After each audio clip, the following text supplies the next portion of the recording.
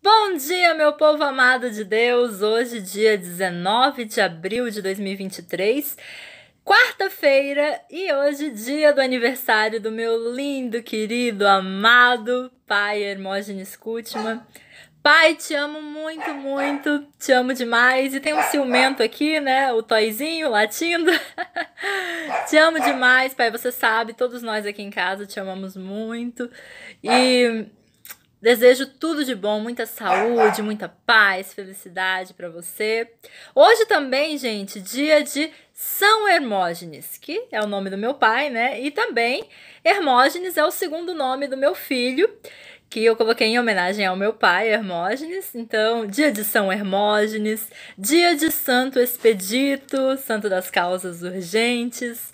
Dia também do aniversário do nosso querido arcebispo Dom Peruso, que Deus o abençoe sempre. Aniversário hoje também do nosso rei da música, Roberto Carlos, que, que somos fãs, né? A família inteira aqui, amamos suas músicas, músicas lindas, é um poeta realmente. Aniversário também hoje do nosso amigo Sócrates. Então, tudo de bom, muita saúde, paz.